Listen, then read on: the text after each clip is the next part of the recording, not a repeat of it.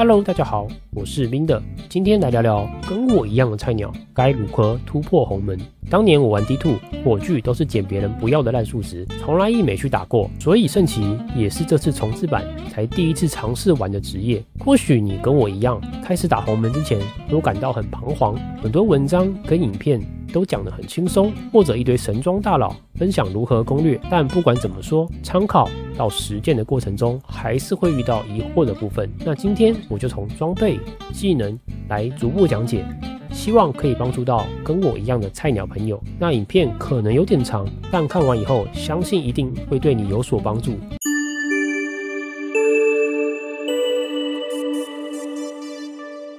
开始前，我们要先理解打红门，大部分入门的玩家都是使用圣骑，并且使用盾牌重击为主的玩法。除了打造便宜好上手以外，为的就是该技能的百分之一百命中率以及超高的攻击速度，可高效触发各项粉碎打击、开放伤口等特性，造成毁天灭地的伤害。但是要记得，盾牌重击是无法享受装备上的窃取。致命打击等特性。不过，窃取的属性在使用其他技能清小怪的时候还是很好用的，需要适当堆砌。有初步概念后，我们开始进入各项装备介绍。首先，各家攻略有平民到大户的分享，可谓百家争鸣，各有优劣。在不考虑其他特殊玩法或者多用途的情况下，我列出几个攻略文中常看到的选择。如果没列出，或者为何出现这项，只是以常见的为主，无好坏之分。另外，所有装备请以自己有限能力内可取得的为主，高价的暗金装跟符文组并非必要的。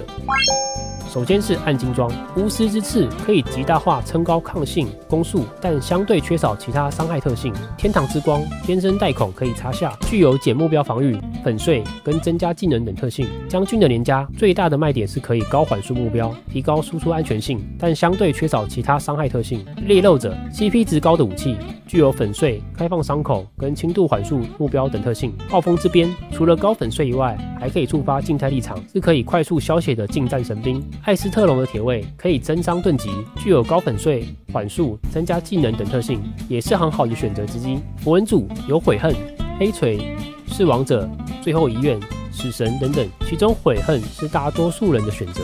以幻化之刃为香材，能提供最快的武器基数，并且高攻速跟加伤害，无视目标防御、减目标防御等特性，可谓杀王碾怪两相宜。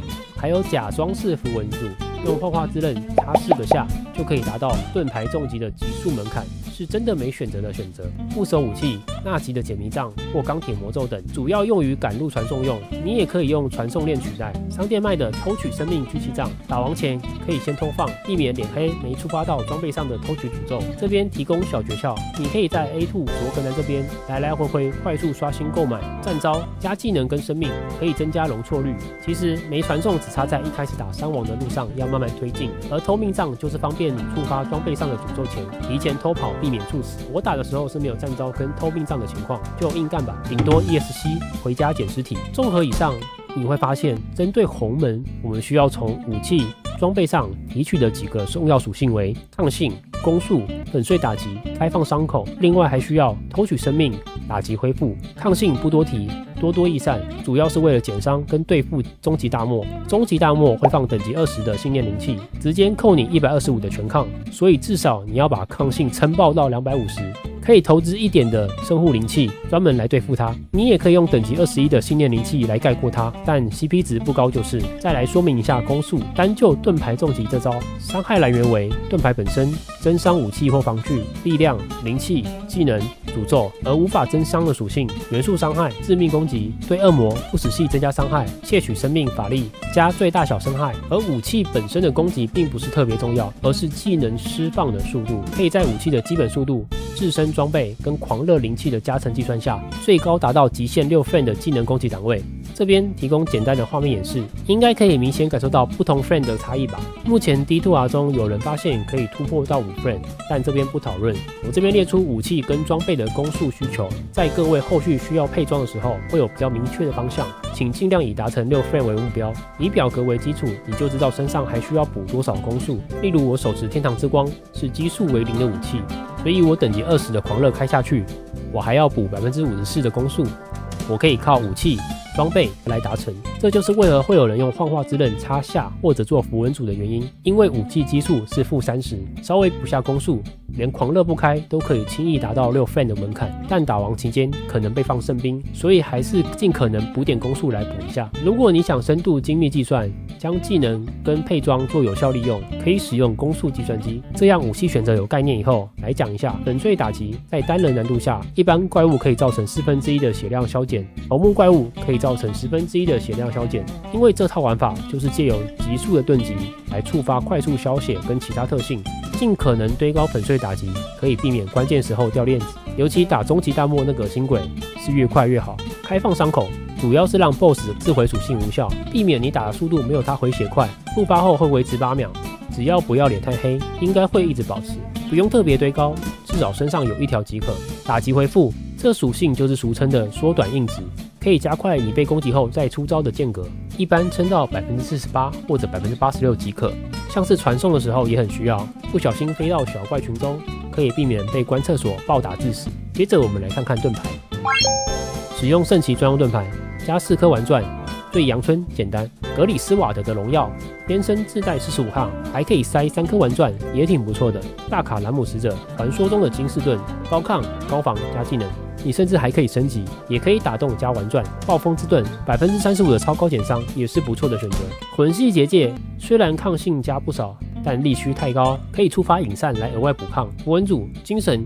依靠圣骑士专用盾牌，天生可以自带四十五抗特性，本身还有加技能 HP 打击回复，相对平民。我就是在新手时期捡到的第一防四十五抗盾牌，主精神就去硬干了。顺堂抗性更高，但造价不便宜，尤其香材不好搞。流亡同上造价也偏高，加技能高防。有防御云器跟通命诅咒，很优秀，但相对其他地方要尽量补抗。这边我也列出几个盾牌香材的规格给各位选择，因为是盾钉，请直接选择专用盾牌。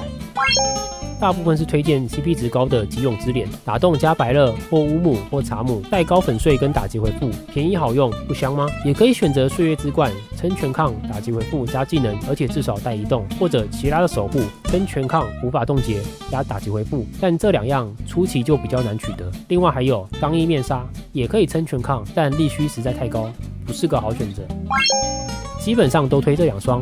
哥布林脚趾好入手的粉碎打击鞋，石头骑士有开放伤口跟粉碎打击，一双两用。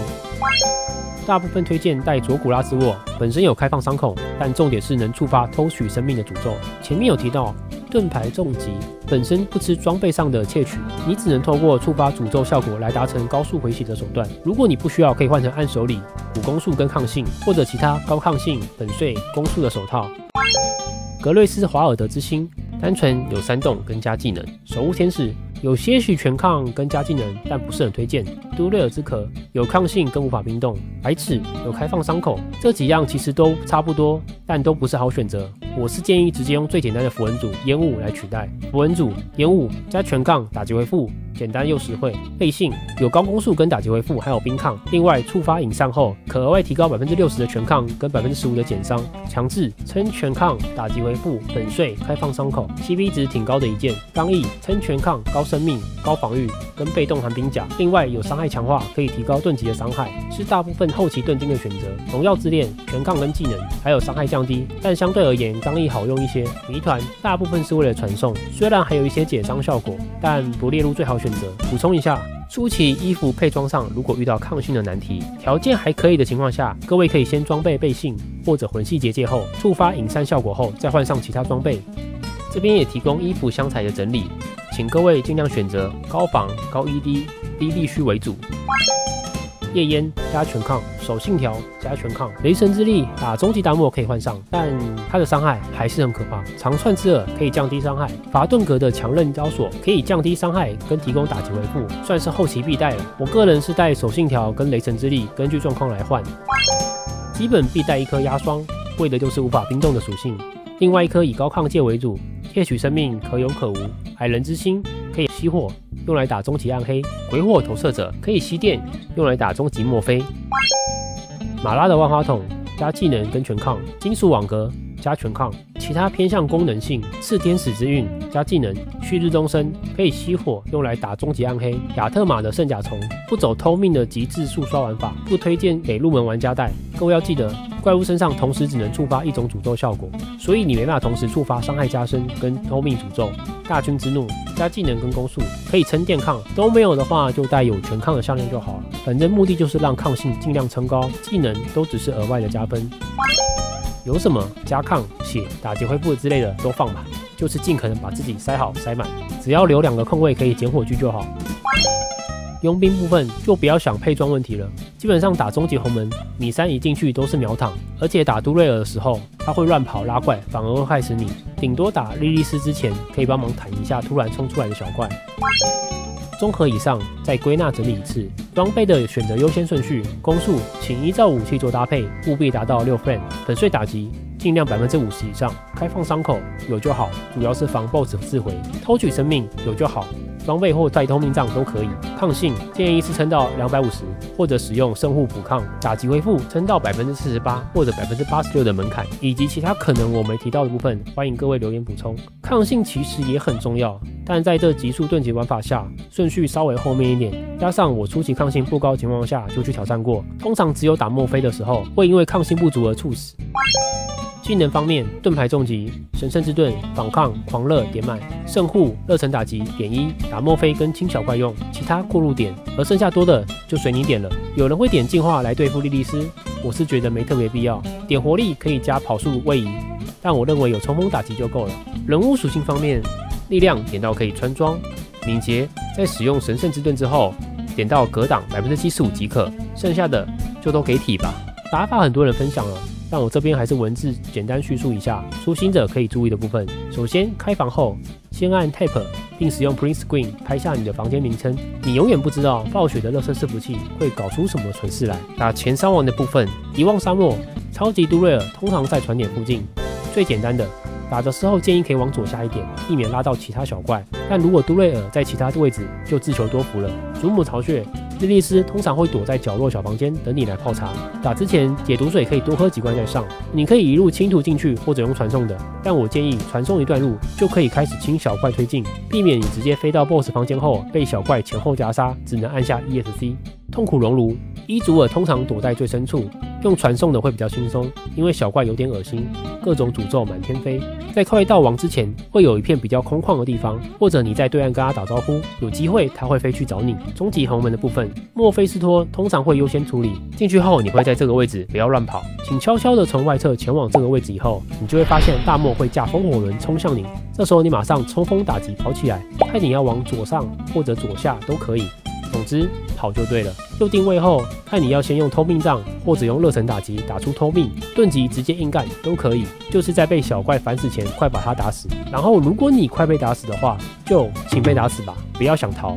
会让小怪到处乱生，后面很难收拾。就 ESC 离开重庆就好。打完墨菲后，再来打这个软趴趴的巴尔来抒发一下。到这个位置的屋子处就可以看到他，但不要一次靠太近，避免暗黑破坏神那家伙来乱削。他会传送到你身边，他只会吸墨以外没特别之处，轻松解决。暗黑破坏神会召唤一堆小弟在你旁边喷火，基本上有触发偷命都还好，就是被喷的很烦就是。都打完以后。就清掉小怪，捡火炬回家便是。其中如果遇到物理免疫的小怪，身上没碧蓝怒火、执法者、梦境这类装备的话，就先逃吧。以上就是全流程了。未来等装备有成长，各位可以再挑战其他组合或职业变化。今天的影片就到这边，祝福大家都打到二十二十。我是冰的，我们下次见，拜拜。哦，走步来个技能版，嘿，哎呀，真的是技能版哎。什么奇怪的的运气？吓死我了！我真的吓到了！我再来一个技能版好不好？真的是技能版。